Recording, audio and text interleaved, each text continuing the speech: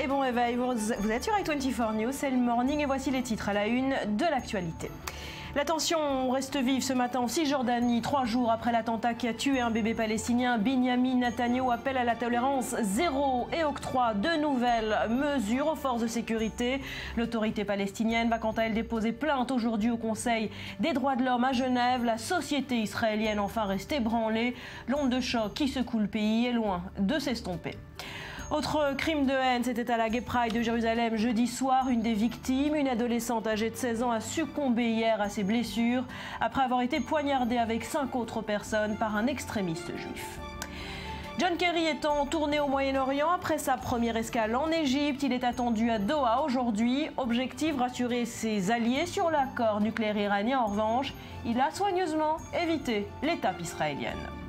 En France, la situation à Calais a frôlé l'incontrôlable. Ce week-end, le flux migratoire est tel que Paris et Londres se sont vus obligés de réafficher un front commun. Et c'est dans ce contexte qu'il faut souligner que pour la première fois de l'histoire, l'immigration est la plus grande préoccupation des Européens devant les défis économiques.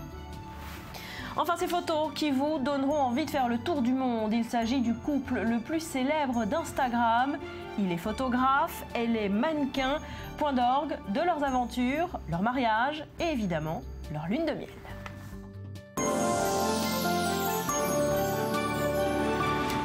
Bienvenue à tous. Shira Banki n'avait que 16 ans. Jeudi dernier, elle avait, comme des centaines de personnes, pris part au défilé de la Gay Pride à Jérusalem. Elle eut le malheur de croiser le chemin de Ishal Schlissel, un extrémiste orthodoxe qui s'est précipité sur la foule armée d'un couteau. Hier, elle a succombé à ses blessures. Julia Ganancia. Shira Banki avait 16 ans. La jeune fille, poignardée lors de la Gay Pride à Jérusalem, a succombé à ses blessures. Elle avait été admise jeudi soir dans un état critique à l'hôpital Adassa de Jérusalem et était plongée sous coma artificiel. La famille de la jeune fille a indiqué qu'elle faisait don de ses organes et a exprimé sa tristesse dans un communiqué. Notre magnifique Shira était tuée parce qu'elle était une adolescente de 16 ans, joyeuse, pleine de vie et d'amour, qui venait soutenir le droit de ses amis à vivre comme ils le veulent. Sans raison et à cause de la bêtise et de la négligence, la vie de notre si jolie fleur a été écourtée. Des malheurs arrivent aux gens bien et un très grand malheur est arrivé à notre incroyable fille. La famille exprime l'espoir d'un monde moins haineux et avec plus de tolérance. Le Premier ministre Benjamin Netanyahou a adressé ses condoléances à la famille. Shira était une brave fille. Elle a été assassinée par un homme abominable parce qu'elle soutenait le simple fait que tout le monde ait le droit de vivre sa vie avec le respect et sécurité.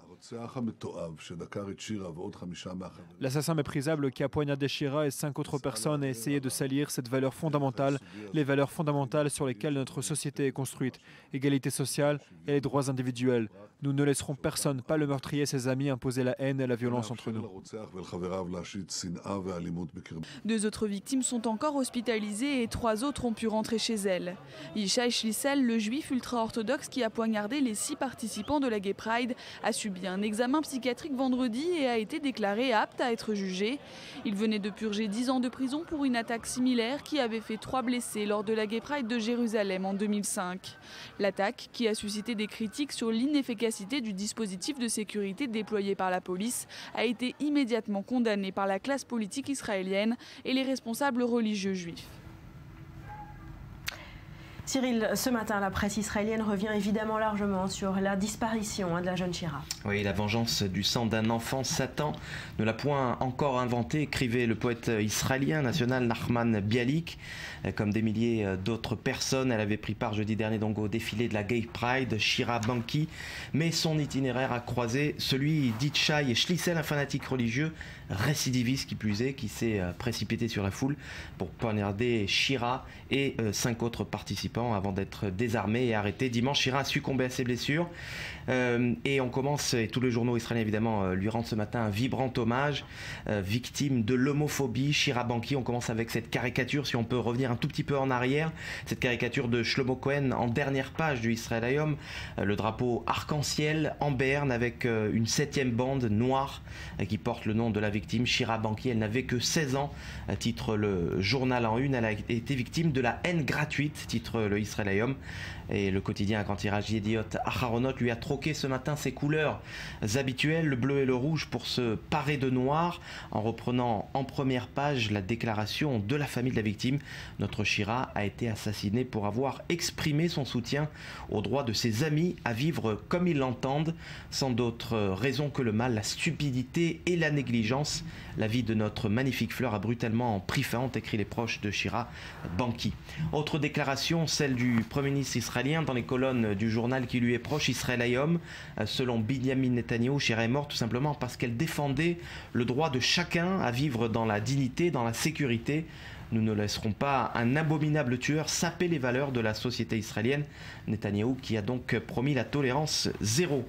Des rassemblements spontanés en mémoire de la victime ont également eu lieu, comme ici à Jérusalem sur cette photo du euh, Mahariv, le journal de centre, le centre droite, flanqué du titre La victoire de la haine sur l'amour. Sur l'amour. Euh, plus sobre, le quotidien libéral Arrête publie lui l'image d'un autre rassemblement qui s'est tenu à Tel Aviv hier soir avec euh, ses bougies de la mémoire, allumées donc à la mémoire de Shirabanki et qui forme le sixième commandement du décalogue, tu ne tueras point, le commandement qu'on retrouve euh, enfin sur cette caricature du Ediot Aharonot, Moïse et ses tables de la loi légèrement agacées. C'est pourtant clair, dit le prophète, c'est écrit noir sur blanc, en plus il y a même la ponctuation. Merci Cyril. Autre euh, crime de haine qui secoue Israël, celui, vous le savez, d'un bébé palestinien de 18 mois brûlé vif vendredi dans l'incendie criminel de la maison de sa famille en Cisjordanie. Sa famille est hospitalisée en Israël. Sa mère et son frère, âgés de 4 ans, sont dans un état critique. Leur pronostic vital est toujours engagé. Son père, en revanche, n'est plus en danger de mort. Et on se rend immédiatement, précisément en Cisjordanie, dans ce village de Douma, où on vous retrouve Mathias Inbar. Alors, trois jours après cet attentat, quel est le climat dans les territoires palestiniens? Écoutez, nous sommes euh, sur cette euh, jonction de Tapouar, ce cœur, ce cœur sécuritaire de la Cisjordanie. Vous voyez le chemin derrière nous eh bien, se dirige en direction de euh, Naplouse, l'une des plus grandes villes palestiniennes. Et ici, le calme est tout relatif parce que hier, eh bien, euh, des jeunes encagoulés ont jeté des pierres, ont brûlé euh, des pneus et s'en sont pris et à l'armée israélienne et à la police euh, palestinienne qu'ils accusent de ne pas les protéger en attendant vous le voyez ici pour l'instant, c'est le calme, mais le calme est relatif. Rien ne peut embraser et peut-être une étincelle peut embraser cette région ici, ce cœur de la Cisjordanie. Alors Mathias, il faut souligner que les forces de sécurité israéliennes sont toujours à la recherche des terroristes. Oui, l'enquête euh, continue et comme il est de coutume, Barbara, eh bien, on ne saura finalement qu'à la fin euh, de l'enquête, lorsque les services euh, secrets intérieurs, le Shabak israélien, aura dévoilé toute la liste des personnes incriminées, eh bien, on saura le résultat de l'enquête. Pour l'instant, l'enquête continue et les mesures sont prises sur le terrain. Je peux vous dire ici, effectivement, qu'il y a beaucoup de jeeps militaires de la police, de la police israélienne qui circulent dans les environs. Euh, vraisemblablement pour euh, non seulement euh, protéger, pour restaurer le calme, mais également pour faire avancer l'enquête. Alors justement, Benjamin Netanyahu a promis hier la tolérance zéro face à ces terroristes juifs. De quelles mesures concrètes parle le Premier ministre? Oui, réunion euh, d'urgence du cabinet restreint de sécurité euh, hier. Benjamin Netanyahou et la plupart de ses ministres concernés se sont réunis. Et euh, eh bien, les mesures proposées par Moshe Yalon, le ministre de la Défense, et surtout du procureur de l'État ont été entendues, acceptées par le cabinet, à savoir la détention administrative de toutes les personnes suspectées d'activité ou de soutien d'activité terroriste et donc c'est une euh, première depuis euh, plusieurs dizaines d'années et c'est une mesure restrictive très importante pour faire avancer l'enquête et surtout eh bien, cette phrase tous les moyens seront bons pour empêcher eh bien, le, des activités terroristes de la part d'Israéliens et de la part de la population juive en Cisjordanie. Merci beaucoup Mathias. Et le gouvernement israélien, on vient de le dire, a donc annoncé des mesures punitives contre les extrémistes juifs après la mort de ce bébé euh, palestinien. Mais trois jours après hein, l'attaque, eh les auteurs sont toujours en fuite et Benjamin Netanyahu peine à convaincre les grandes chancelleries. Trop peu, trop tard. En tout cas, les réactions sont vives en Israël comme à l'étranger. Les condamnations restent virulentes. Léa Berdugo. Un acte de terrorisme, une exigence de tolérance zéro. Les mots sont forts et rarement utilisés à l'encontre d'extrémistes juifs. Benjamin Netanyahou, soumis à de fortes pressions, a tenu à brandir un message de fermeté. Dans son viseur, les auteurs de l'assassinat d'un bébé palestinien brûlé vif et d'une attaque au couteau à la Gay de Jérusalem qui a causé la mort d'une adolescente et blessé cinq autres personnes. Nous condamnons et nous dénonçons ces meurtriers. Nous allons les traquer jusqu'à la fin. C'est important de le dire à un moment où nous condamnons et où nous nous unissons contre les criminels issus de notre peuple. Cependant, ce discours ne convainc pas tout le monde. L'ancien président d'Israël, Shimon Peres, a indirectement dénoncé la responsabilité du Premier ministre, notamment pour ses propos prononcés à l'encontre des Arabes israéliens. Pour d'autres, c'est la politique nationaliste du gouvernement qui est en cause, et notamment la poursuite des constructions dans les territoires palestiniens. Le chef de l'opposition, Yitzhak Herzog, a appelé l'équipe gouvernementale à faire son examen de conscience. La terreur, c'est la terreur. Point final. Les terroristes sont des terroristes. Point final.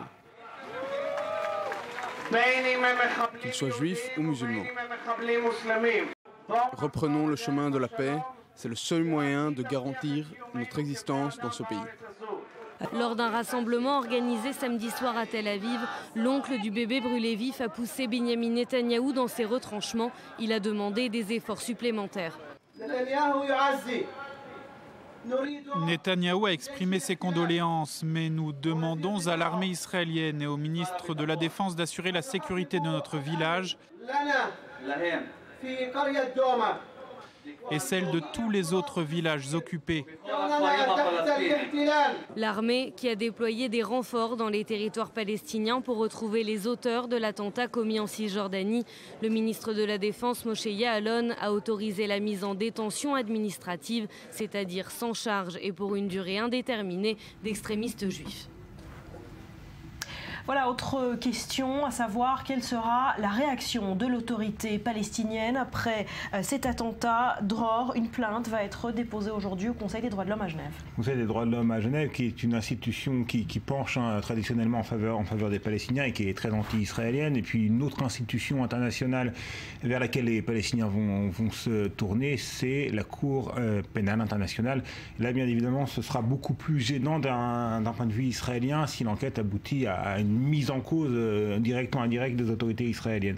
Euh, alors il faut savoir qu'avec ce genre d'événement, un petit peu cyniquement peut-être, mais il faut tout de même le souligner, les Palestiniens bénéficient bien évidemment d'une vague de sympathie internationale et bien évidemment, c'est presque de bonne guerre en quelque sorte, qui veulent en, tirer le maximum de bénéfices auprès des instances internationales et ça s'inscrit dans cette, dans cette stratégie de, euh, d'acquis par petits pas et d'une reconnaissance graduelle de l'État palestinien qui n'existe pas mais qui est reconnu par des instances internationales, par des parlements euh, nationaux et de plus en plus par, des États. Il se murmure que la France serait le prochain État sur la liste à reconnaître unilatéralement euh, l'État palestinien.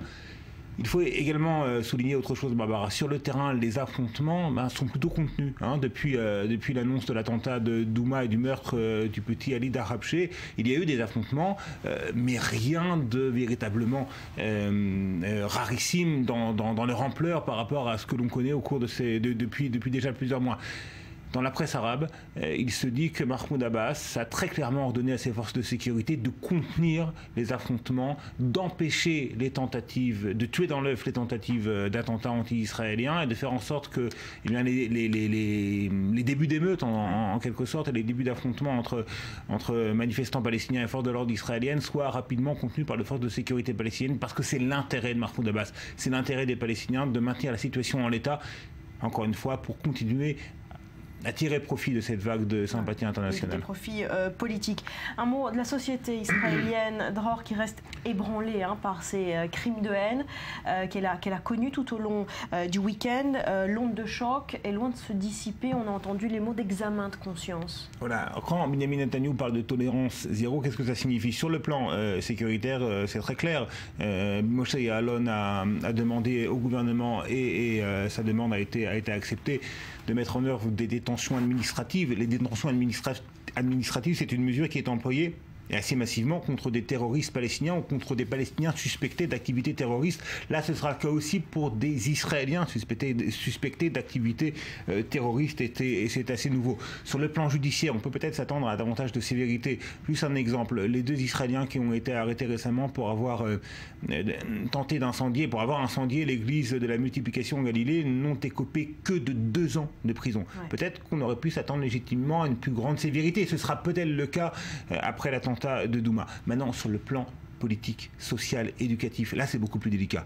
Euh, là, il s'agit pour Benjamin Netanyahu d'aller contre pas une partie de sa coalition, mais certaines marges qui sont soutenues tout de même par les députés les plus radicaux de sa coalition. Là, bien évidemment, ce sera le test de Benjamin Netanyahu. Est-ce qu'on peut s'attendre à une plus grande sévérité dans le, discours et peut-être à... Euh, là, on est en période de, de congé scolaire, mais peut-être que dans certains dans certaines écoles, notamment dans les écoles euh, religieuses, et on sait qu'aux marges de la société religieuse israélienne, et eh bien, de ces marges proviennent, euh, proviennent, proviennent, ces, proviennent ces extrémistes. Est-ce qu'on peut s'attendre à ce que euh, le message soit plus clair? Naftali Bennett, le ministre de l'Éducation, a eu des propos très durs pour condamner ces attentats il est le dirigeant du sionisme religieux. Aux marges du sionisme religieux en Israël apparaissent des déviances euh, euh, extrémistes. Euh, ce sera un test pour le gouvernement, ce sera un test pour Netanyahou, ce sera un test pour, pour Naftali Bennett. Merci beaucoup, Et c'est dans ce contexte qu'il faut souligner que le chef de la diplomatie américaine, John Kerry, est en tournée dans la région mais n'a prévu aucune escale en Israël. L'objectif pour Washington est de rassurer ses alliés arabes du bien fondé de l'accord avec l'Iran. La diplomatie américaine commence à avoir l'habitude, nouvelle tournée pour rassurer ses alliés. Depuis hier, c'est au Moyen-Orient que John Kerry enchaîne les visites. Face au président égyptien Al-Sisi, le secrétaire d'État a martelé son message. Je suis absolument convaincu que l'Égypte, Israël et les pays du Golfe seront plus sûrs avec un seuil d'un an et non de deux mois pour avoir la bombe. Et cela pendant dix ans. Plus sûr aussi avec des inspections et plus sûr avec des réductions de réserves d'uranium. Les États-Unis en profitent au passage pour relancer le dialogue stratégique entre les deux pays. Un partenariat mis à mal par la répression violente des frères musulmans. John Kerry a exhorté le Caire à concilier lutte antiterroriste et protection des libertés. Prochaine étape, Doha pour une réunion avec ses homologues des États unis du Golfe en première ligne face à l'Iran et premiers opposants à l'accord nucléaire. Mais impuissante, l'Arabie saoudite a malgré tout affiché son soutien à l'accord et s'en tient pour le moment à des déclarations d'intention. Riyad dit espérer bâtir de meilleures relations avec son rival iranien. À Téhéran, justement, nouvelle interview du leader Rouhani qui veut une fois de plus rassurer sur les ambitions nucléaires de son pays. Très certainement, l'accord nucléaire va créer un nouveau climat pour un règlement politique plus rapide. La solution finale au Yémen est politique, en Syrie, la solution finale est politique. Autre invité à cette tournée diplomatique générale, Sergei Lavrov. Le diplomate russe est aussi arrivé dans la nuit à Doha pour évoquer avec ses homologues les positions de Moscou dans le conflit syrien. Et on retrouve notre correspondant aux États-Unis, David Benaïm. Bonjour, merci d'être avec nous. Quel est l'enjeu pour John Kerry lors de cette tournée? Il, est attendu hein, dans les heures qui viennent à Doha. Enfin, l'enjeu, il, est énorme ici. Il faut savoir que du point, de vue euh, euh, de, de, sa visite euh, euh, au Caire, sa visite est passée tout à fait inaperçue. Rien dans les journaux télévisés du soir, rien à la une des grands quotidiens comme le Washington Post ou le New York Times. Ici, tout le monde est concentré sur les primaires républicaines. Officiellement, donc le secrétaire d'État est en tournée pour assurer les alliés du monde arabe sur le deal iranien. Et pour la première fois depuis l'annonce de l'accord avec Téhéran, plusieurs sondages montrent que l'opinion publique américaine est en train de pencher en la défaveur de l'administration Obama. Après une semaine d'explications auprès des sénateurs au Congrès, alors que les anti-deals se sont manifestés dans les rues de New York et de Washington, Kerry continue sa tournée pour convaincre sur tous les fronts sauf auprès d'Israël. Alors justement, pourquoi avoir soigneusement évité cette escale euh, israélienne euh, Il n'est pas attendu ni à Jérusalem ni à Ramallah? En effet, si, les médias américains offrent le, minimum sur le voyage de Kerry en Égypte et au Qatar, le fait qu'il évite Israël est dans tous les esprits. John Kirby, le porte-parole du secrétaire d'État, a tenté de rassurer, indiquant que le fait qu'Israël ne soit pas au programme de ce voyage n'est pas un acte délibéré, de rappeler que John Kerry est en communication fréquente avec le Premier ministre israélien, sauf que leur dernier coup de fil date du 16 juillet et de nombreuses organisations et lobbies juifs ici s'inquiètent qu'une distance s'installe entre Israël et l'administration Obama. John Kerry s'est défendu vendredi avant son départ pour le Caire, insistant qu'il considère Bibi être son ami et qu'il est dans l'histoire des secrétaires d'État celui qui a rencontré le plus de fois un Premier ministre israélien et celui qui s'est le plus souvent rendu en Israël. Mais le fait d'éviter Israël lors de ce voyage n'étonne personne. Se rendre à Jérusalem alors qu'il est en pleine tournée pour convaincre des bienfaits du deal avec l'Iran serait comme se jeter dans l'arène du lion. Cela relancerait le débat à son plus fort ici aux États-Unis et redonnerait un souffle nouveau à l'opposition républicaine en pleine campagne pour s'opposer à l'accord qui doit passer au vote dans six semaines à Washington. Merci euh, David. Et si le Moyen-Orient s'inquiète aujourd'hui de la menace que, représente l'Iran, eh bien on se souvient qu'il y a tout juste 25 ans, la même région était secouée par le coup de force de Saddam Hussein, le dictateur irakien s'emparait en quelques jours de son voisin koweïtien, déclenchant la première guerre du Golfe. Maël Benoliel. Nous sommes le 2 août 1990, il est 2 heures du matin. Les divisions de la garde républicaine irakienne et les forces spéciales de l'armée de Saddam Hussein sont les premières à entrer sur le sol koweïtien. Le Koweït n'a pas les moyens de résister. La petite monarchie pétrolière est envahie par l'Irak. En quelques heures, l'armée de Saddam Hussein prend le pouvoir et installe son propre gouvernement. L'émir Jaber, troisième du nom, qui gouverne alors le Koweït, prend la fuite vers l'Arabie saoudite. Dans les jours qui suivent, un demi-million de Koweïtiens lui emboîtent le pas et fuient le pays à leur tour. Le Conseil de sécurité des Nations Unies condamne l'invasion irakienne et exige que l'Irak retire toutes ses forces déployées au Koweït dans les plus brefs délais. Une invasion également dénoncée par l'ensemble de la communauté internationale qui finit par l'intermédiaire des États-Unis par lancer un ultimatum à Saddam Hussein. Se retirer du Koweït ou faire face à la guerre. Pendant sept mois, les forces de Saddam Hussein pillent les richesses immenses de l'émirat koweïti. Plus de 1000 civils sont tués pendant l'occupation irakienne. Trop c'est trop pour les États-Unis. Après une série de négociations infructueuses entre la communauté internationale et l'Irak, la guerre du Golfe éclate à la mi-janvier 1991. Pendant un mois et demi, les forces de la coalition bombardent plusieurs sites militaires et parviennent à décimer l'armée de l'air irakienne. Le Koweït est définitivement libéré fin février.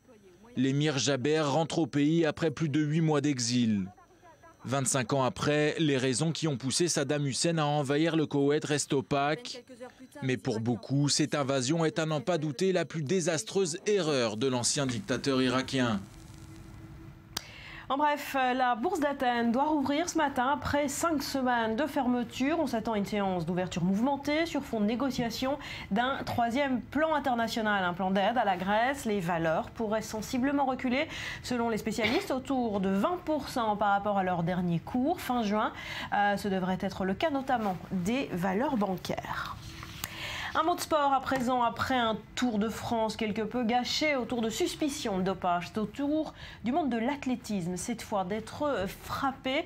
L'Agence mondiale antidopage tire la sonnette d'alarme et se dit très inquiète de nouvelles accusations portées contre la Russie et le Kenya, des accusations faites dans un documentaire diffusé ce week-end. Rudy, vous nous en dites plus. Oui, euh, diffusé par la chaîne ARD. Ce qui paraît justement euh, incroyable, c'est qu'une telle information soit le fruit d'une enquête de journalistes et non pas euh, de l'Agence mondiale antidopage qui ne fait que commenter finalement ces résultats. Alors concrètement, les journalistes ont eu accès à 12 000 échantillons sanguins détenus par la Fédération internationale d'athlétisme et donc les résultats sont glaçants. Sur 5 000 athlètes testés entre 2001 et 2012, 800 auraient des valeurs sanguines, je cite, suspectes ou hautement suspectes. Et sur les 146 médaillés au championnat du monde euh, au JO entre 2001 et 2012, sur le 800 mètres et euh, jusqu'au marathon, un tiers, présenterait des valeurs suspectes. C'est absolument énorme, mais ce n'est pas tout. Hein. L'enquête révèle aussi des cas de dopage très précis en mettant des noms justement du côté des fédérations russes et kenyanes qui sont pointés du doigt. Un exemple, l'exemple de Maria Savinova qui est championne olympique du 800 mètres et elle serait dopée aux hormones de croissance par exemple. Mais il y a plusieurs athlètes clairement pointés du doigt dans cette euh, enquête.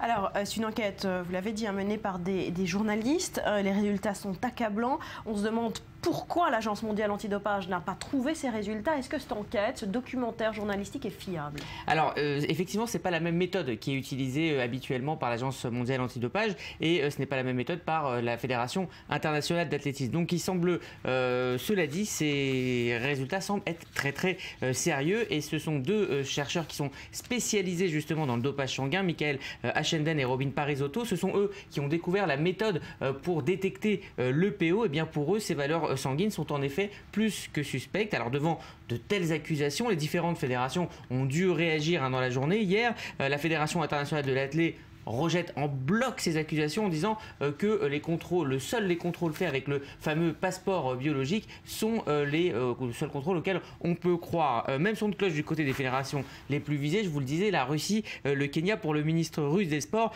je cite, il dit que quelqu'un cherche à ruiner l'athlétisme en diffusant ces films. Des grands noms pourraient être visés Alors, il y en a effectivement, par exemple la star du 100 mètres Justin Gatlin, il avait déjà été suspendu pour dopage entre 2006 et 2010, et bien sachez qu'actuellement, eh bien, il court plus vite qu'à l'époque euh, à, laquelle, laquelle il était euh, dopé, euh, que ce soit donc sur 1500, sur 800 mètres, les records aussi ces derniers mois tombent de manière assez suspecte. et les accusations visent des grands champions, mais pas des grandes stars. Par exemple, Usain Bolt, lui, est déclaré hors de tout soupçon. En tout cas, on est à trois semaines des mondiaux de Pékin et on n'a pas fini d'entendre parler de ce qui pourrait être un véritable, si c'était confirmé, un véritable séisme dans le monde de l'athlétisme. Tremblement dans le monde de l'athlète. Merci beaucoup, Rudy. Et voilà, on s'excuse pour le décor quelque peu euh, bizarre derrière nous. C'est un euh, côté Hitchcockien. Voilà, il fait très, très, très chaud aujourd'hui en Israël et le taux d'humidité très élevé euh, à Tel Aviv. C'est pour ça que le décalage entre les températures extérieures et intérieures dans le studio crée cet effet un peu bizarre de buée derrière nous et nous empêche de voir la mer de Tel Aviv. Et ce sont ces fortes chaleurs conjuguées à de forts vents hier qui ont provoqué un incendie, feu de forêt important dans la région de Jérusalem. Des maisons ont été endommagées, des centaines de personnes évacuées, mais on déplore pas de victimes. Ce dimanche, un immense incendie s'est déclaré dans la ville d'Even Sapir, dans la banlieue sud-ouest de Jérusalem. Plus d'une vingtaine d'équipes de pompiers ont été mobilisées, ainsi que huit Canadaires pour tenter de mettre fin aux flammes. Tous les habitants de la ville ont été évacués et la police a également fermé la circulation.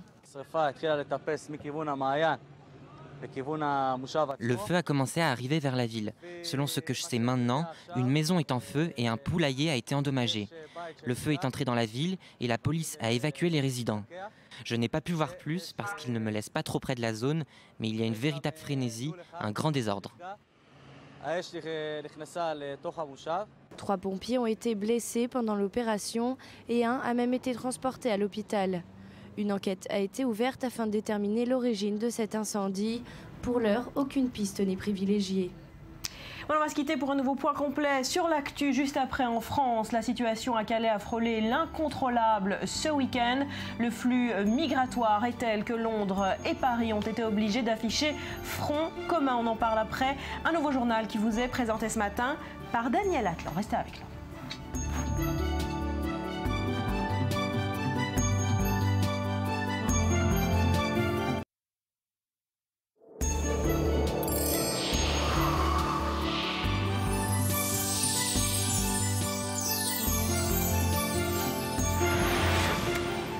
Sur le plateau, très humide du morning. Vous continuez de le constater derrière nous. On s'excuse hein, d'avoir gâché quelque peu le décor sublime de la mer euh, Méditerranée. Allez, on démarre par la France. La situation à Calais a frôlé l'incontrôlable. Ce week-end, le flux migratoire est tel qu'il sème la zizanie entre Paris et Londres. Mais les deux gouvernements tentent de faire front commun pour affronter cette crise. Explication, Océane Nicole. C'est la priorité absolue pour Paris et Londres. Le ministre de l'Intérieur français, Bernard Cazeneuve, et son homologue britannique souhaitent régler au plus vite la question des migrants. À Calais, ils sont de plus en plus nombreux à vouloir traverser la Manche à tout prix, quitte à y risquer leur vie. Ces derniers jours, plusieurs personnes ont péri en voulant traverser l'Eurotunnel. Et malgré les centaines de policiers présents sur place, les tentatives d'intrusion se font toujours. Uh, quand une personne a un objectif, la route lui paraît facile. Elle oublie rapidement les difficultés qu'elle a affrontées en route et elle dit aux futurs migrants c'est facile, vous passerez, ce qui encourage les gens à franchir le pas. Plusieurs mesures ont été prises par l'Angleterre et la France afin de lutter contre l'arrivée massive de ces réfugiés clandestins. 10 millions d'euros ont été rajoutés par Londres pour renforcer la sécurité du site de l'Eurotunnel. Également la construction de nouvelles clôtures et barbelés ainsi que l'envoi de renforts supplémentaires de policiers français font partie de ces mesures. Je souhaite également que ce travail de démantèlement des passeurs se fasse par davantage de coopération entre la police euh, britannique et la police française. Nous, allons le faire davantage encore que nous le faisons. Nous allons aussi procéder à des reconduites à la frontière ensemble. Mais selon les deux ministres de l'Intérieur, la France et la Grande-Bretagne ne doivent pas agir seuls. Ils appellent à une mobilisation européenne, voire même internationale. Selon eux, la France n'est qu'un pays de transit. Les migrants présents à Calais pour rejoindre l'Angleterre passent avant par l'Italie ou encore par la Grèce. Selon l'Organisation internationale pour les migrations, depuis le début de l'année 2015, ce sont plus de 150 000 migrants qui ont rejoint l'Europe par la mer et c'est dans ce contexte qu'il faut souligner que pour la première fois de l'histoire, eh bien, l'immigration est la plus grande préoccupation des Européens, loin devant les défis économiques. Myris, c'est un sondage publié hier qui révèle cette nouvelle tendance. Oui, c'est l'Eurobaromètre. Hein. Vous savez, c'est un sondage euh, effectué par euh, la Commission européenne deux fois par an, et donc on peut comparer avec euh, novembre 2014. Alors regardez sur le graphique qui va s'afficher à l'écran, on peut constater donc que en 2014 l'immigration ne se trouvait qu'à la quatrième position avec 24%. Derrière l'économie, le chômage ou encore la dette publique, cette préoccupation passe donc euh, tout devant euh, avec 38%. Donc pour près de 4 personnes sur 10, 4 personnes interrogées, eh bien la première préoccupation, le premier problème majeur euh, pour l'Union européenne, c'est bien l'immigration. Alors voilà les résultats qui concernent les Européens dans leur ensemble, mais les chiffres diffèrent d'un pays à l'autre. Oui, donc ça c'était la moyenne.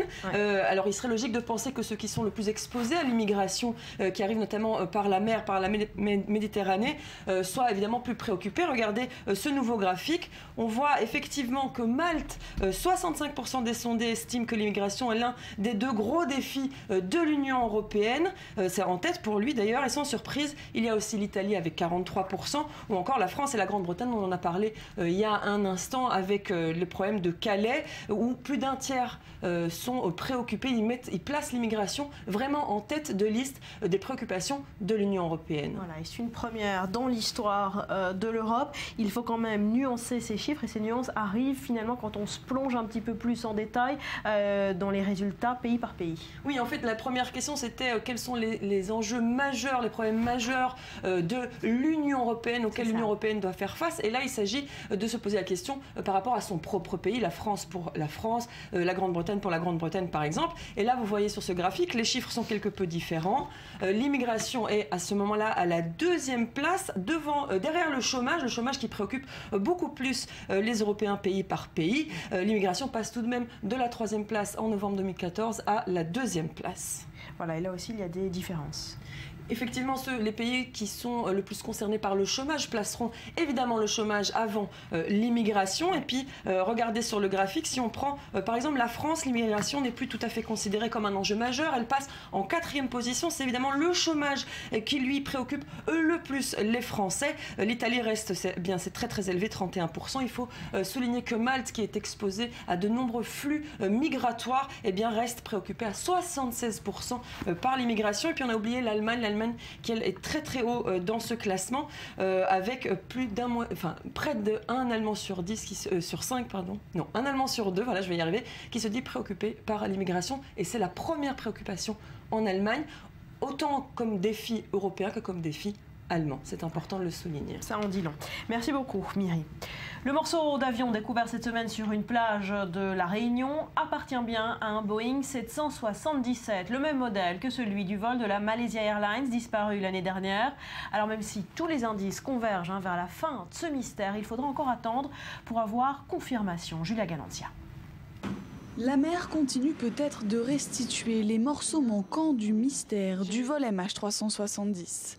Des promeneurs ont remis ce dimanche aux forces de l'ordre des débris métalliques trouvés sur le rivage, quatre jours après la découverte d'un fragment d'aile provenant d'un Boeing 777 qui pourrait provenir de l'avion de la Malaysia Airlines disparu le 8 mars 2014. Sur l'île de la Réunion, la chasse au trésor est lancée. Peut-être une marche d'escalier, de, un rebord d'escalier, de, de, marche d'escalier, ou pour rentrer dans la Carlène. Mm. Je sais pas. Je sais pas, c'est pas. Et vous avez trouvé ça où Sur le front de mer, loin de là où on a trouvé les autres débris. Près de 16 mois après la sortie des radars du vol MH370 avec 239 personnes à bord, la confusion règne sur les plages de l'île. Promeneurs et joggeurs traquent le moindre objet pouvant provenir de l'avion. Les nouveaux débris métalliques ont été remis aux forces de l'ordre local pour qu'ils soient confiés aux enquêteurs de la gendarmerie des transports aériens. Mais pour l'instant, rien ne dit qu'ils appartiennent au MH370. Je le rapporte à, à tout à fait utile. Ce serait dommage que ça appartienne à l'avion et que tu ne le ramasses pas. Maintenant, bon, c'est sûr que peut-être ça ne peut pas, ça peut pas être ça. Hein. Une réunion à huis clos est prévue lundi à Paris entre quatre responsables malaisiens et un des magistrats français chargés de l'enquête, un membre du bureau d'enquête et d'analyse et des gendarmes pour faire le point. Le fragment d'aile retrouvé à Saint-André a été acheminé près de Toulouse dans un laboratoire où il va être expertisé à partir de mercredi. Mais ce simple morceau de carlingue risque de ne pas suffire à résoudre la totalité de l'énigme. Voilà, on en vient à ces terribles images. Vous allez les voir. La Californie ravagée par les incendies. Plus de 9000 pompiers luttent contre les flammes d'une vingtaine d'incendies en tout. La Californie est frappée par la pire sécheresse de son histoire. Un pompier a déjà perdu la vie et plus de 6000 personnes ont été évacuées de leur foyer euh, ces dernières heures. Le président Obama doit dévoiler dans la journée un plan de lutte inédit contre le changement climatique. Une avancée selon lui encore jamais franchie par les États-Unis dans ce combat. Une annonce faite à moins de six mois de la tenue à Paris de la COP21. Explication Joseph Emmanuel. C'est un plan de lutte inédit que s'apprête à annoncer Barack Obama. Le plan Clean Power constitue une avancée encore jamais franchie par les USA dans la lutte contre les changements climatiques. Une lutte contre les émissions de gaz à effet de serre qui est devenue l'un des combats majeurs de la Maison-Blanche. Objectif 30% de réduction des émissions pour l'année 2030, des émissions de CO2 provenant essentiellement de la production d'électricité. Ce plan augure d'une transformation notable du secteur de l'électricité car il encourage le passage aux énergies renouvelables aux dépens de la production d'énergie à partir du charbon. Et les inquiétudes de l'Amérique sont également les inquiétudes du monde il y a deux jours, l'ONU soulevait le problème. Le Conseil de sécurité souligne à juste titre la menace du changement climatique, une menace pour la paix et la sécurité internationale. L'élévation du niveau de la mer, la disparition des récifs coralliens et l'augmentation de la fréquence et la gravité des catastrophes naturelles aggravent les conditions qui conduisent au déplacement de communautés. Et la communauté des contestataires se fait déjà entendre aux États-Unis des groupes d'industriels ou même des élus d'États dépendants d'une énergie fossile élèvent la voix. Ils accusent l'administration Obama d'être responsable d'une future hausse du prix de l'électricité. En réponse, la Maison-Blanche estime que ce plan marque le coup d'envoi d'une offensive sans précédent en faveur du climat. Un coup d'envoi en grande pompe avec une communication impeccable. Si vous croyez comme moi qu'il ne faut pas condamner nos enfants et nos petits-enfants à vivre sur une planète asphyxiée, je vous demande de partager ce message avec vos amis et votre famille. La vidéo, mise en ligne sur le site même de la Maison-Blanche depuis quelques jours, a déjà été visionnée des millions de fois. Le président américain y explique que le changement climatique est une menace pour l'économie, pour la santé mais également pour la sécurité des États-Unis d'Amérique.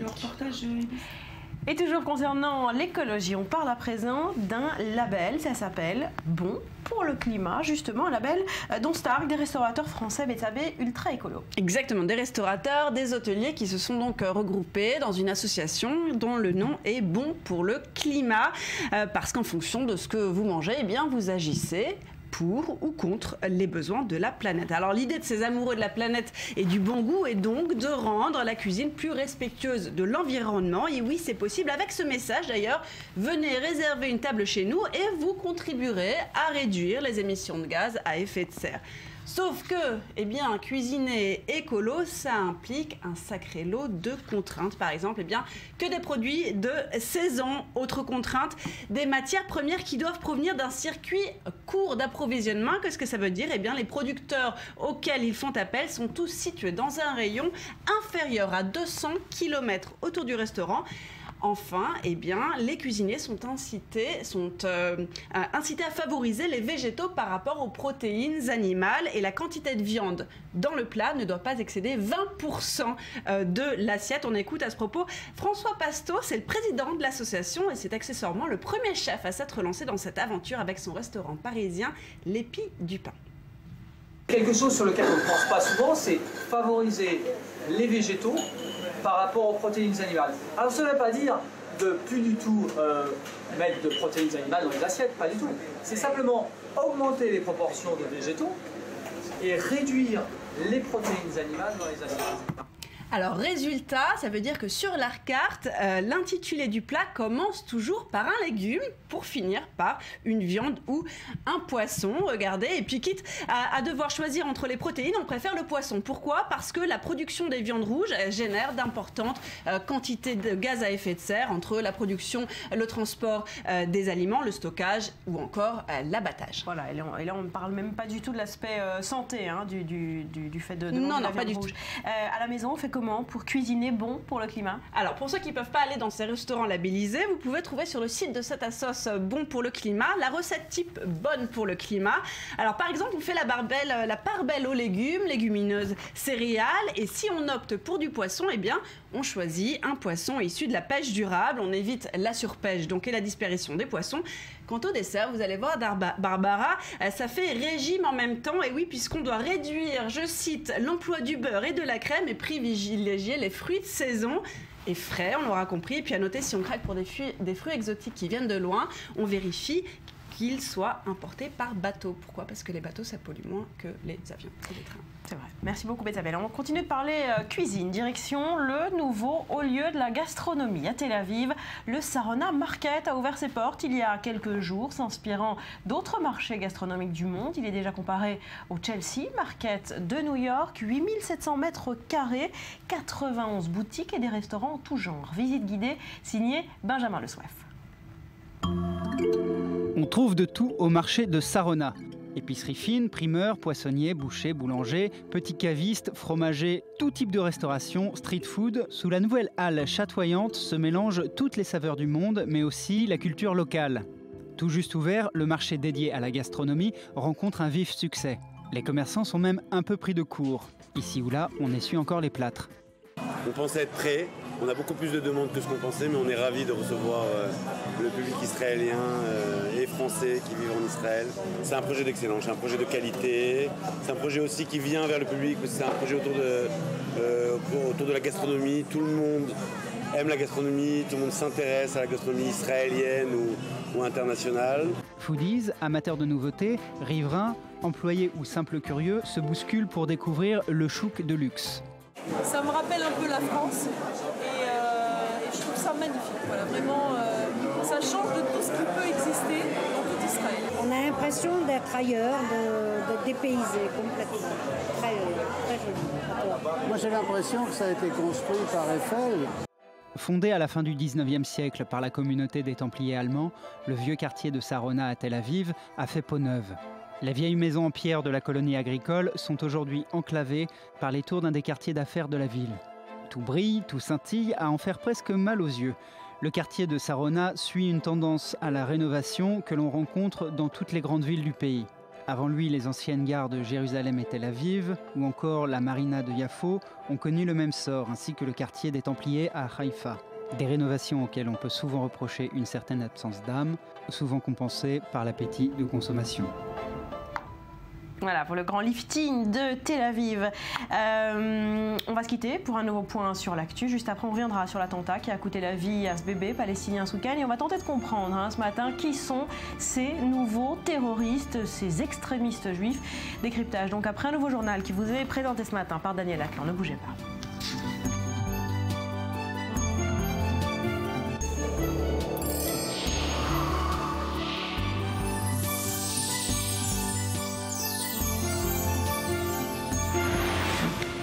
On revient à présent sur l'attentat commis en Cisjordanie vendredi. La tension reste vive ce matin encore, trois jours après euh, cet acte qui a tué un bébé palestinien. Benjamin Netanyahu a appelé hier à la tolérance zéro et octroyé de nouvelles euh, mesures aux forces de sécurité.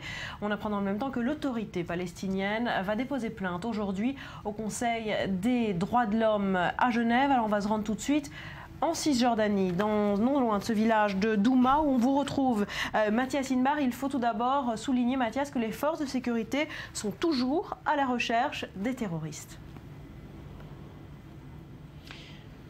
Oui, tout à fait, euh, Barbara. L'enquête se poursuit. Difficile de savoir où, euh, à quelle étape euh, elle en est, cette enquête, tout simplement parce que silence radio du côté des services de sécurité intérieure et silence radio du côté de la police israélienne parce que généralement, nous avons l'habitude de suivre des enquêtes concernant l'arrestation et la poursuite après des terroristes palestiniens.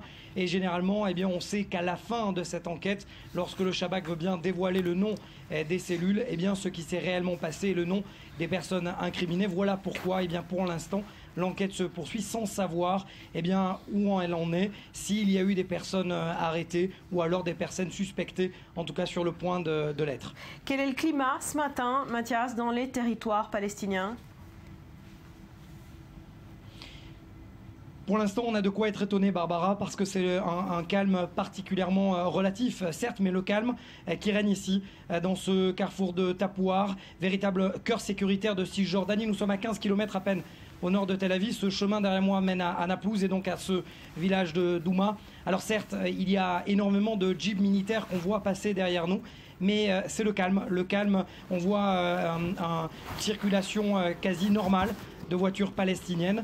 Euh, bref, le calme tout relatif parce qu'hier, par exemple, euh, aux alentours du village de Douma, il y a eu une manifestation spontanée des euh, jeunes Palestiniens en, cagoulé et qui ont jeté des, pierres et brûlé des, pneus qui s'en sont pris et à la police palestinienne et aux forces de sécurité israéliennes. Vous, vous, le voyez bien, rien ne peut embraser cette région ici au cœur de la Cisjordanie. Merci beaucoup, Mathias Inbar. Et le Premier ministre, on l'a dit, a hein, donc euh, promis hier la tolérance zéro face à ces terroristes juifs. Et son ministre de la Défense, Moshe Yaalon, a autorisé la mise en détention administrative, une mesure habituellement réservée aux Palestiniens. Maurice, ça veut dire quoi, la mise en détention administrative? La mise en détention administrative, c'est la mise en détention d'un suspect sans aucune forme de procès pour des questions sécuritaires. Alors, c'est une procédure légale euh, dans de nombreux pays, mais elle n'est généralement pas utilisé. Alors en Israël, il y a à peu près 300 Palestiniens en détention administrative et la communauté internationale est assez critique parce qu'elle pense que ces, ces détentions administratives ont été faites dans le cadre d'une occupation. Alors l'origine de la détention administrative euh, de, trouve, a été faite en 1945 par un décret du mandat britannique euh, pour des situations d'urgence. Elle a été encadrée en 1979 par une loi israélienne qui prévoit justement la prolongation de l'état d'urgence jusqu'à aujourd'hui. Donc on peut placer des suspects en détention administrative sans aucune forme de procès, et ce, pendant, pour une période maximale de six mois reconductible. Alors, euh, dans les territoires palestiniens, l'autorité absolue, c'est le ministre de la Défense, c'est lui qui décide de mettre quelqu'un, un suspect, en détention administrative. Alors, c'est sûrement pas une peine, c'est une mesure euh, dissuasive et euh, de, préventive en cas de soupçon d'acte terrorisme. en Israël, la détention préventive, généralement, est de, encore une fois, six mois, avec possibilité de faire appel dans les 48 heures.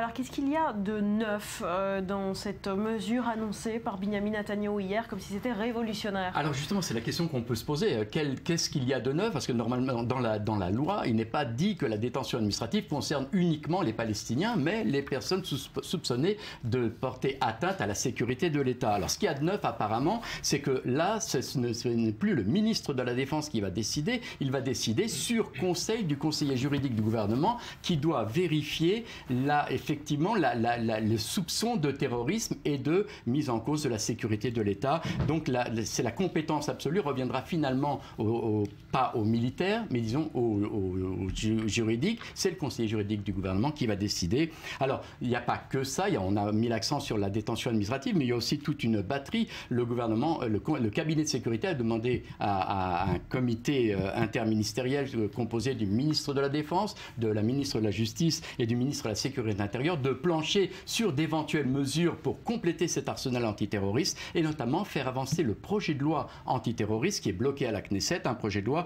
qui permettra aux services de la sécurité d'agir plus librement envers les, les, suspects juifs ou palestiniens, notamment en utilisant des renseignements secrets, en, en, menant des enquêtes un peu plus musclées et euh, surtout pouvoir inculper des gens sur des preuves qui ne sont pas absolues. Parce que c'est là tout le problème, c'est de prouver qu'il y avait une intention terroriste derrière les agissements de certains. Voilà, une procédure facilitée pour venir à bout de cette nouvelle forme de terrorisme euh, juif. Merci beaucoup euh, Maurice pour ces explications. On tente précisément de comprendre ce matin qui sont ces nouveaux terroristes, ces extrémistes juifs. Ils continuent d'inciter à la haine et menacent de mort désormais le président israélien après qu'il ait déclaré avoir honte pour son pays.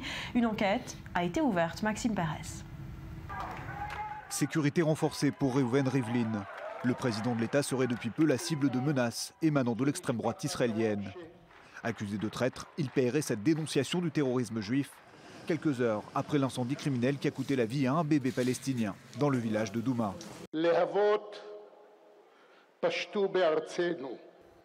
Les flammes de la haine et de la violence se sont propagées dans notre pays. Les flammes de croyances fausses et déformées. Ces flammes ont provoqué une effusion de sang au nom de la Torah, au nom de la moralité, au nom de l'amour pour la terre d'Israël. Sous le label du prix à payer, de jeunes extrémistes juifs appliquent la loi du talion. Ils multiplient des actions violentes qu'ils qualifient de représailles au démantèlement d'implantations ou de constructions jugées illégales en Cisjordanie, comme ce fut le cas à Bethel la semaine dernière. Leurs victimes, des lieux de culte musulmans ou chrétiens, des agriculteurs palestiniens dont ils attaquent les terres, et même des soldats israéliens. Ce n'est pas la première attaque de ce genre, et ça ne sera pas la dernière, parce que c'est la politique pratiquée par le gouvernement israélien contre notre peuple. Les Palestiniens affirment avoir recensé 11 000 attaques en 10 ans. En somme, depuis le retrait de la bande de Gaza, un point de non-retour pour de jeunes juifs radicaux. Problème, selon l'ONG israélienne Yeshdin, 85% des plaintes de Palestiniens contre des habitants juifs sont classées sans suite. Au vu du tollé provoqué par la tragédie de Douma, l'immunité dont jouissent certains activistes juifs pourra difficilement perdurer. Première à évoquer une tolérance zéro, le ministre de la Défense Moshe Yaalon a d'ores et déjà promis des sanctions exemplaires. Par exemple, l'idée d'imposer la détention administrative. Voilà, et on s'attarde à présent sur ces menaces de mort à l'encontre du président israélien.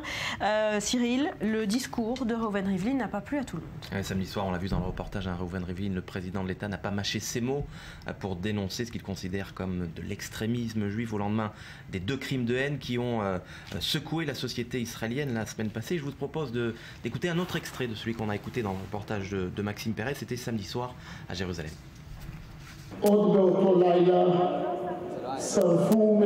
Cette nuit-là, des terroristes juifs ont incendié la maison de la famille Dawabché dans le village de Douma. Ils ont assassiné un bébé, Ali Dawabché, et ont grièvement blessé son frère de 4 ans, ainsi que son père et sa mère. Tous les trois sont aujourd'hui entre la vie et la mort. Il s'est créé chez nous un climat de trop grande indulgence face à ce qu'il est souvent convenu d'appeler naïvement les mauvaises herbes. Alors voilà, ça c'était samedi soir, dimanche matin, le président Rivlin récidive dans les colonnes du Yediot Ahronot, c'est le premier tabloïd euh, israélien, le quotidien à grand tirage. Il publie cette tribune, vous le voyez, en hébreu et en arabe. J'ai honte pour mon pays, écrit euh, le président euh, Reuven Rivlin. Et puis enfin, ce statut Facebook le même jour, publié en deux langues encore, euh, sur le compte de la présidence israélienne, où il dénonce la violence aveugle de certains extrémistes. Alors pour certains citoyens israéliens, c'en était trop. Les réactions ne tardent pas à fuser sur les réseaux sociaux. Rivlin devient très vite la cible d'une campagne d'incitation à la haine. Il est traité, alors j'en ai relevé quelques-unes, hein, de traître, de zéro. Allez rejoindre vos amis à Gaza, Rivlin. Vous êtes un terroriste aux commandes de l'État d'Israël, ni plus ni moins. Ou encore, euh, Rivlin n'est pas mon président, mais celui des Arabes. Les noms d'oiseaux s'enchaînent jusqu'à cette image, euh, comme euh, que voici Rivlin coiffé de la traditionnelle kéfier palestinienne. On va certainement la voir apparaître à l'écran. Voilà, Rivlin coiffé euh, d'une- d'une- d'un kéfier palestinien, d'un kéfier palestinien avec cette inscription Reuven Rivlin, euh, Youpin, traître, que son nom soit effacé et que sa mémoire soit effacée. Alors, c'est un photomontage, hein, euh, et des mots d'ailleurs, euh, qui, qui- qui rappelle celui qui avait été fait sur Yitzhak Rabin euh, quelques jours à peine avant son assassinat. Est-ce que le, climat que traverse aujourd'hui la société israélienne est comparable à celui d'avant le meurtre d'Yitzhak Rabin? Bah, il est peut-être un peu prématuré pour l'affirmer. En tout cas, ce qui est clair, c'est que le Shin Bet, les services de sécurité intérieure, ne veulent prendre aucun risque. Ils prennent ces menaces très au sérieux, si bien qu'ils ont demandé au président Rivlin d'alerter la police et de porter plainte pour ces menaces de mort, ces menaces euh, de mort qui font ressurgir évidemment euh, le spectre, le cauchemar en tout cas d'un nouvel assassinat euh, politique. D'autant plus, c'est pas la première fois que Reuven Rivlin est, est victime d'une telle campagne. Rappelez-vous, en octobre dernier, il s'était rendu immédiatement après son élection à Kfar Qassem, c'est le nom d'un village arabe israélien, pour rendre hommage aux euh, 48 victimes arabes euh, israéliennes, 47 pardon, euh, arabes tuées euh, il y a 58 ans par la police des frontières israéliennes. Alors Évidemment, on peut se poser la question, il n'y a pas vraiment de, climat, euh, on n'est pas en plein processus de paix, des concessions territoriales ne sont pas sur le point d'être faites par le gouvernement israélien. On a, un gouvernement israélien qui est le gouvernement peut-être le plus à droite que n'ait jamais connu Israël, donc il n'y a pas véritablement de, euh, reproches à faire à Reuven Rivlin de ce côté-là. On ne peut, pas vraiment être taxé de gauchiste pour Reuven Rivlin. On sait que c'est un ardent euh, défenseur du grand Israël, opposé à toute forme de concession territoriale envers les Palestiniens, mais c'est aussi un fervent démocrate. On sait qu'il est partisan du rapprochement judo-arabe. Ouais. Rappelons que son père a été le premier traducteur euh, du Coran en hébreu. C'est un démocrate, c'est sans doute ce que lui reprochent ses détracteurs. Alors justement, on va tenter de comprendre qui se cache derrière cette nouvelle vague d'extrémisme en Israël.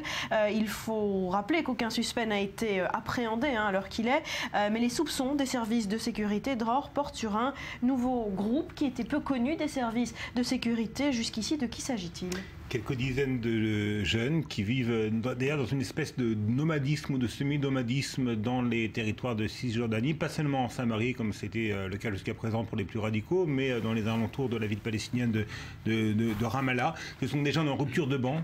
Déscolarisés, ils sont très jeunes, hein, une vingtaine d'années, et parfois même ils sont mineurs. Et lorsqu'ils sont mineurs, eh bien, ils sont souvent euh, déscolarisés. Ce sont souvent des jeunes qui ont quitté euh, tout cursus euh, scolaire, qui sont en rupture de banc familiale également. Ils n'ont plus vraiment de contact avec, avec leur famille. Donc des jeunes marginaux qui ne sont pas d'ailleurs attachés à des autorités rabbiniques et qui ne cherchent pas le blanc-seing de certains rabbins pour commettre leurs actes de terrorisme. Ils ont une idéologie qui est celle du remplacement de l'État sioniste. Ils emploient cette terminologie par un, royaume, de, Judée. Et leurs actes de terreur ont pour objectif immédiat eh bien, de déstabiliser cet État euh, qu'ils euh, qu'ils détestent tellement.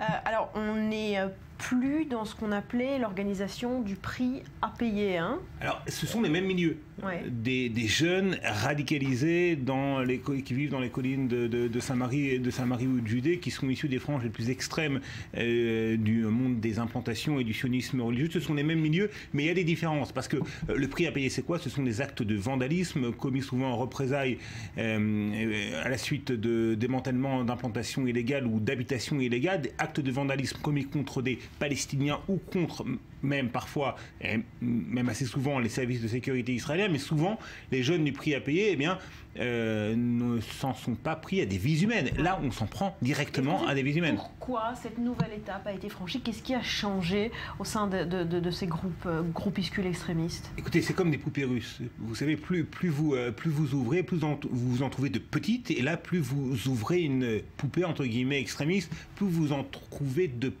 en termes de nombre, mais de, de plus radicales et de plus extrémistes encore, et de plus marginales encore. Là, véritablement, on va... euh, déjà, le prix à payer, c'était euh, une, une réaction euh, radicale, extrémiste par rapport à un sionisme religieux, par rapport au monde des implantations qui était considéré comme, comme trop modéré, comme trop mainstream par certains jeunes.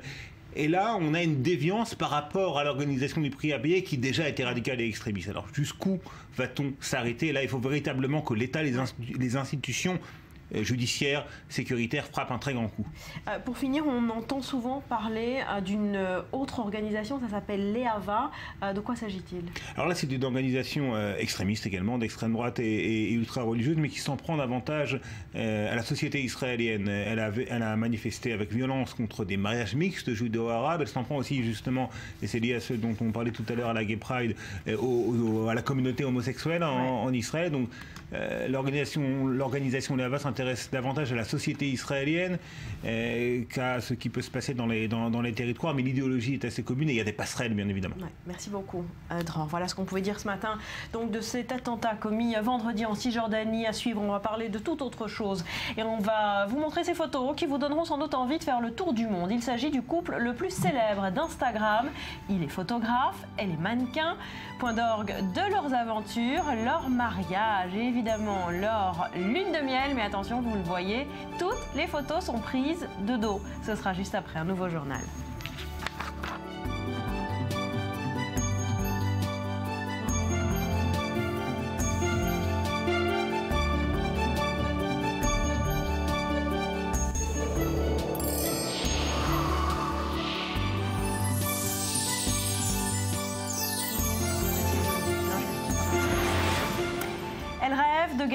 Un Oscar, de conquérir Hollywood, bref, d'avoir la même carrière que Charlize Theron. Cara Delving, l'une des rares mannequins à avoir réussi sa reconversion dans le cinéma, connaît pourtant des débuts, vous allez le voir, difficiles. Interviewée pour la sortie de son dernier film, eh bien l'actrice mannequin a fait une désastreuse prestation, tout ça en direct à la télévision américaine à tel point, euh, Laetitia, que ça pourrait compromettre sa carrière. Tout à fait. Euh, elle a franchement manqué de professionnalisme. Cara Delevingne, il faut le prononcer avec l'accent Oui, euh, anglais. Effectivement, comme vous l'avez dit, elle est une fille qui veut absolument euh, se, se défaire de son image de mannequin et réussir à Hollywood, conquérir Hollywood. Et puis on la voit partout d'ailleurs en ce moment. Et là, elle faisait la promotion de son premier film où elle tient le rôle principal. Ça s'appelle La face cachée de Margot. Et elle offre une interview en direct direct à l'émission Good Day Sacramento, donc à la télévision américaine. Elle est en duplex euh, depuis Los Angeles. La veille au soir, elle a fait un petit peu trop la fête pour une avant-première, celle de Paper Town.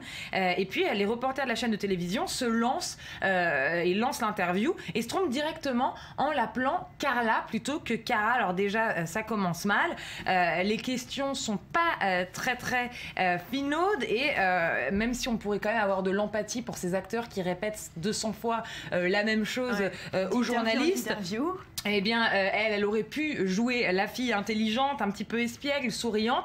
Eh bien, au contraire, elle boude, elle répond à côté de façon désagréable, méprisante. Et euh, les reporters finissent par s'agacer et lui conseiller d'aller se coucher ou de prendre un Red Bull. Et ils ajoutent même que quand on est payé 5 millions de dollars pour 6 semaines de travail, on pourrait montrer un petit peu plus d'entrain. Alors, elle est pas drôle euh, pour une seconde. Elle, est, elle, se, elle finit même par se lever et partir laisser un écran vide. C'est une image qui est À terrible. Elle a, elle quel âge? Elle a 22 ans, euh, Cara Delevingne, euh, et puis euh, de se laisser un vide à la télévision euh, américaine, c'est euh, désastreux, surtout quand on veut faire une carrière. Et puis euh, quand le magazine Variety s'en mêle, là c'est la catastrophe. Le magazine Variety, c'est la bible du, cité- du cinéma. Elle euh, s'empare euh, de l'affaire et euh, du coup, elle, elle se fend d'un tweet, euh, la jeune euh, mannequin actrice actrice où elle ne s'excuse pas du tout. Non, non, non, elle prétend juste avoir voulu faire de l'humour british. En clair, les journalistes américains n'ont pas compris son sens du sarcasme. un peu facile, hein Oui, le monde de la... bah, c'est une rebelle aussi, hein, Cara euh, Delevingne. D'ailleurs, elle est supportée par le monde de la mode, alors que le cinéma, lui, reste euh, plutôt euh, silencieux et ça peut détruire une C'est déjà carrière. arrivé. C'est déjà arrivé dans le passé. On se rappelle très bien de cette affaire Marion Cotillard. En 2009, elle, elle est en course pour obtenir l'Oscar qu'elle va avoir finalement. Et au moment où elle obtient euh, l'Oscar, on ressort cette terrible interview d'elle qui a été euh, donnée dans le, euh, par Frédéric Tadei, il me semble, dans l'émission Paris Dernière sur Paris Première qui est produite par euh, Télé Paris et la boîte d'Ardisson. Et dans cette interview, elle, euh, eh bien, elle, elle, elle participe à la théorie du complot à, tra- à- à- à propos du, du World Trade Center, à propos des événements du 11 septembre, où elle dit qu'elle comprend pas forcément euh, pourquoi et comment ces tours ont pu s'effondrer en si peu de temps. Et, et voilà, elle, elle se... Elle, elle a quand même réussi pas mal à Hollywood. Alors, depuis. alors à Hollywood, on lui en a beaucoup voulu pour cette interview. D'ailleurs, on a essayé de la ca- cacher cette interview puisqu'on voulait même lui enlever Ouais. son Oscar. Depuis d'ailleurs, Marion Cotillard a bien appris la leçon et elle participe au- à tous ces événements promotionnels de manière très professionnelle, très à l'américaine. On, on s- on- on se doute qu'elle a même dû prendre des cours euh, de promotion. On peut aussi mentionner très rapidement Tom Cruise qui lui avait fait un- une prestation désastreuse en sautant sur un canapé chez Oprah Winfrey. Ouais. Il a- on en avait beaucoup euh, On rigolé. beaucoup moqué. On s'était beaucoup moqué, ça avait failli lui coûter sa carrière. D'ailleurs, depuis, il est redevenu très, très professionnel à, à faire des interviews euh, de manière en, en promo, on, on fait gaffe, quoi, on se tient bah, bien. En promo, on fait gaffe et c'est surtout que c'est aussi important la promo. En tout cas, pour convaincre les studios euh, de, de nous prendre pour un film, que sa performance en tant qu'acteur. Parce qu'un un, un- un studio américain va se dire bon, celle-là euh, ou celui-là est très très fort en promo, ça va être cool, ça va être rigolo, on va le, ça, ça va être, ça va être mieux pour faire la promotion du On film. regarde euh, l'échec total oui. de, de Cara? Euh, alors, on va pas regarder l'échec total de Cara, on va regarder la bande-annonce du film pour Ah, la lequel elle, a fait cette interview désastreuse. Vous disiez que la promo est aussi importante que le film Bah, le film est, tout- est- est tout aussi important. Ça Allez. sort le 12 août, La face cachée de Margot, on regarde. D'après moi, tout le monde a droit à un miracle. Le mien, ça a été de devenir un jour le voisin d'en face de Margot Ross Spiegelman. Elle était sans aucun doute la plus irrésistible des créatures terrestres. La vie de Margot était une suite d'aventures complètement dingues. Tu vas vraiment baver devant cette fille jusqu'à la fin du lycée? L'année de terminale s'achevait et je n'avais presque plus de contact avec Margot. Jusqu'au soir où? Puisque. Margot? Il faut que tu me prêtes ta voiture. Quoi? J'ai neuf trucs à faire cette nuit. Tu peux pas demander à ton copain? Ex-copain, tu veux dire Mon copain m'a trompé. La vengeance commence. C'est moins étrange que ça en a l'air. Arrête Je reviens pas que t'aies fait ça. Prends la photo, vas-y Avoue que c'était marrant là. J'ai l'impression que mon cœur va exploser. Ça devrait être comme ça tout le temps dans la vie. C'est magnifique. C'est une ville de papier avec des gens, des maisons. Merci Voilà donc Laetitia. pour Cara Delevingne dans son premier euh, grand rôle au cinéma. Elle va apprendre, elle va apprendre le métier. Elle n'a que Espérons. 22 ans, peut-être. Allez, coup de projecteur à présent sur le couple le plus célèbre d'Instagram. Mourad Osman et sa jeune épouse Nathalie se sont fait connaître en postant des photos d'eux un peu partout dans le monde et toujours de dos. Exactement. Alors, et pour cause, hein, ces photos, lui, il est photographe et elle, elle est eh bien canon, tout simplement. Mourad Osman et Natalia Zarakova ont le goût de s'exhiber, enfin de dos. Regardez, toujours la même pose. Elle, lui tenant la main à lui pendant qu'il prend la photo. Résultat, il vient de tirer de cliché euh, sur Instagram, donc intitulé Follow Me Too, soit Suis-moi euh, vers. Le couple russe emmène donc les internautes aux quatre coins du monde regarder des monuments en plage paradisiaque. Et quand je dis internautes, attention, on parle de près de 3 millions de followers. Alors, qui ont eu droit? Regardez, par exemple, à les photos à Hong Kong, par exemple, depuis le pic Victoria, et sa vue a coupé euh, le souffle sur Hong Kong. Vous avez aussi un cliché, par exemple, à Rio, où le photographe, d'ailleurs, précise en légende euh, qu'il est difficile de prendre une photo sans la foule qui rentre dans le cadre. Et oui, hein, c'est pas forcément très très intime euh, ces endroits euh, de rêve. Vous avez aussi ce cliché à Londres que, euh, que j'ai trouvé très beau aussi. On notera les tenues hein, de euh, la belle, toujours sublime. hein, ça aide. hein. Et les ongles manicurés. et les ongles manicurés. Alors ça, c'est le coup d'œil de Barbara aussi. Vous avez à Moscou, euh, bien sûr, regardez devant le Kremlin et Mourad qui essaie un nouvel appareil. Il, avait, il a toujours quelque chose euh, à raconter. Et puis, bien sûr, le mariage en juin dernier, c'était à Las Vegas, le 8 juin, donc en Russie, puisque le couple est russe, avec bien sûr aussi cette pose de lui qui euh, tient la main. Là, il essaie de l'attraper. Regardez, il a euh, réussi finalement à l'attraper et cette touche incontournable de romantisme en légende, cette promesse de lui dire tous les jours qu'il l'aime et de continuer à lui tenir la main. Et puis le mariage, c'est aussi l'occasion de les voir ensemble. Alors voilà, je vous présente l'auteur de ces clichés de dos. On euh, peut le voir. Alors elle est habillée par la styliste américaine Vera Wang, évidemment une sublime robe de mariée. Barbara un peu dépitée aussi. Et ça, c'est le château quand même euh, de Zavoronsky près de Moscou. Alors qu'est-ce qui vient après le mariage? La lune de miel. Exactement. Alors inévitablement, les internautes ont eu droit sur leur compte Instagram, eh bien, aux Maldives. Et au fesses maillot de, de- de bain la jolie Nathalie. extrêmement bien coupé, dirons-nous, avec des légendes aux airs de Lonely Planet signées par monsieur. Peu de gens le savent, mais il y a quelques vagues super aux Maldives qui recèlent de spots géniaux pour le surf. Je suis pas sûre que c'est ça que les gens regardent. Alors, monsieur qui se fait aussi spirituel, euh, comme sur cette photo, j'ai essayé en vain de persuader Nathalie de nager avec les requins. Peut-être la prochaine fois. Warf, warf, warf. C'est beau, hein, Laetitia? Magnifique. Magnifique, oui. Voilà. Elle a quand même un corps sublime. aussi. Voilà. Ça rend la photo Et belle. l'œil du photographe. Exactement. Merci beaucoup, Betsabe. Allez, c'est l'été. Et Souvent, l'été rime avec job d'été. Du gardien d'île au trieur de pommes de terre, les offres d'emploi insolites ne manquent pas. Pour le plus grand bonheur des jeunes qui décrochent ces postes souvent convoités. Regardez. Depuis deux saisons, Gwenégan est gardien saisonnier de ce caillou du golfe du Morbihan. Entretien du site, protection de la nature et sensibilisation des plaisanciers. Pour cet étudiant en biologie, un petit boulot de rêve dans un cadre idyllique. Avant, pour lui, job d'été rimait avec crêperie bondée et moins d'argent. Pourtant, parmi ses proches, il ne fait pas que des envieux. Tu fais des journées pas possibles. Je sais qu'il y a beaucoup d'amis qui ne pourraient pas faire ça. Enfin, qui, on leur proposerait et ils diraient oui. Et je pense qu'ils feraient pas plus d'une semaine, une ou deux semaines, quoi. De son côté, Justine, 26 ans, parcourt les alpages de Savoie, suivie de près par de nombreux vacanciers. Cette passionnée de montagne a décroché l'un des trois postes de colporteur des alpages. Entre grande randonnée, proximité avec les éleveurs et promotion du fromage local, le Beaufort, elle n'échangerait sa place pour rien au monde. Jusqu'au 21 août, je vais être logée, hébergée chez des agriculteurs. Donc c'est vraiment des personnes formidables, très enrichissantes, qui ont beaucoup à nous apprendre. Et puis euh, pareillement avec les visiteurs qui viennent nous voir, qui sont curieux, qui sont intéressés, qui nous apprennent des choses aussi de leur région. Pour ces deux chanceux, au job d'été peu conventionnel, l'été devrait passer vite. Côté montagne, Justine ira à la rencontre des éleveurs tout le mois d'août. Côté mer, Gwenégan espère bien rempiler l'année prochaine pour une troisième saison. Alors gardien d'île était une des options pour un job d'été, justement, direction une île inconnue, euh, ou en tout cas très peu connue. Rudy, vous nous y emmenez ce matin, une île sur laquelle des hommes vivent euh, comme il y a 60 000 ans. Oui, et ce matin, donc, euh, voyage en terre presque inconnue, jingle.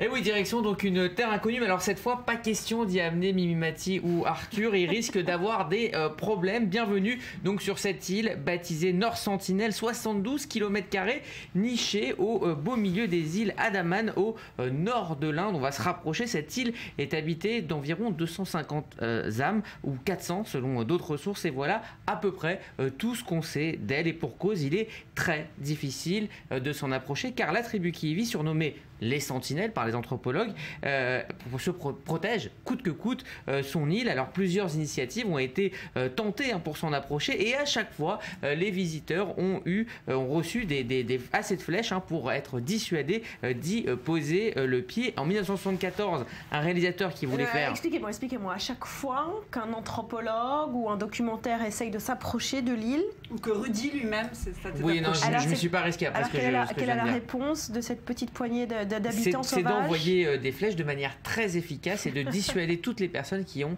euh, tenté à un moment ou un autre de s'approcher C'est euh, sur La, l'île. la dernière tribu sauvage du monde. Absolument. C'est, c'est- alors on va, on, on va, on va en savoir un peu plus. Alors déjà, les tentatives en 74, un réalisateur qui voulait faire un film euh, sur euh, cette, cette tribu est arrivé et a reçu assez de flèches pour faire demi-tour et renoncer donc euh, à ses projets. D'où 2000 proviennent quand même ces clichés alors justement, ils proviennent d'hélicoptères, d'images hélicoptères, et puis on va voir d'autres d'autres images euh, après. Alors, euh, en 2006, deux pêcheurs un peu éméchés amarrent leur bateau sur la côte de Nord Sentinel. Eux aussi, ils ont été tout simplement tués euh, à coups de flèche par, euh, par euh, donc cette tribu, et même accueil pour un hélicoptère qui était venu euh, porter secours à la tribu juste après le tsunami en 2014, fin de, en 2004, pardon, fin 2004, et l'hélicoptère aussi a reçu des flèches et a fait demi-tour, et donc l'île a aussi survécu au tsunami. Alors, vous nous dites que personne, mais vraiment personne ne les a jamais approchés? Et non, non, non, il y a quand même quelqu'un, mais ce fut le travail de toute une vie de cet anthropologue. Il s'appelle Tri, euh, euh, Trilokinat Pandit. Il a tenté à plusieurs reprises, euh, dès le début de sa carrière dans les années 60, de rentrer en contact avec ce peuple et il a miraculeusement réussi un jour euh, de 1991 avec son équipe. Alors, une fois n'est pas coutume, il n'a pas été euh, accueilli par les traditionnels en flèche et il a pu rester quelques heures. On voit ces images avec la tribu à condition d'adopter les coutumes locales, c'est-à-dire ne pas porter de vêtements, ni de lunettes, ni de montres. Il a donc voilà fait ce qu'il ce qu'il fallait. On sait Et- pourquoi Pourquoi cette attitude a changé à son égard bah, il les connaît, il les connaissait bien, donc il a adopté aussi l'attitude pour être un petit peu accepté euh, dès le départ, et il a euh, complètement euh, réussi à rentrer en contact. Mais ce, ce fut très long. Il y a eu plusieurs tentatives avant d'arriver à ce moment où effectivement ils ont euh, baissé les armes. Alors il a découvert à ce moment-là plusieurs choses. Déjà, ils ne regardent pas le morning et que euh, ils ne- ils n'ont pas du tout envie en fait d'aller au-delà de leur île. Le monde extérieur ne les intéresse absolument pas. On apprend aussi qu'ils vivent comme à peu près il y a 15 000 ans. Euh, ils ne sont pas cannibales, ils n'ont euh, pas de chef et ils se nourrissent euh, principalement de poissons et de tortues. Et voilà, c'est tout ce qu'on sait de ce peuple que la civilisation semble avoir oublié. Voilà, ou préserver. Euh, pourquoi on en reparle maintenant de cette affaire? Ça fait du bruit sur Internet. Bah, tout simplement parce que ces derniers jours, on en parle effectivement euh, beaucoup dans la presse et aussi les internautes en parlent euh, parce qu'on reparle aussi du vol de la Malaysia Airlines, le fameux Mhm. vol MH370. Alors pendant les recherches, l'île de Nord Sentinel a été survolée plusieurs fois. Pendant les, re- les recherches, donc pour se rappeler à notre bon souvenir, et une photo satellite montrait même une bande de fumée qui se serait échappée euh, de l'île. Le et vol a euh, peut-être reçu des flèches en fait, c'est comme ça. bah, qu'il mais ça, ça a été l'une des théories fumeuses euh, de, de, de- de- Merci. voilà de, de- non, mais de cette de, de- de De ce, ce crash euh, mystérieuse. et euh, effectivement mais en fait après vérification ça n'a pas été le cas en tout cas si vous voulez en savoir plus il y a un documentaire d'une heure quarante très intéressant tout en anglais sur Discovery Channel qui justement fait énormément de vues ces derniers jours parce que il y a une sorte d'intérêt de buzz autour Ah, euh, de cette question C'est passionnant sur l'île de Sentinelle. voilà, donc c'est sur YouTube. Et donc, quoi qu'il arrive, si vous euh, cherchez une destination d'été, évitez Nord Sentinel. On évite les L'accueil flèches et ouais, ouais, voilà, ok. l'accueil risque de piquer un peu. Merci beaucoup. Euh, Rudy, merci. Betsabe, merci à vous d'avoir été avec nous ce matin. Je vous souhaite de passer une très belle journée. Je vous dis à demain. Tout de suite, un nouveau point sur l'actu. Portez-vous bien.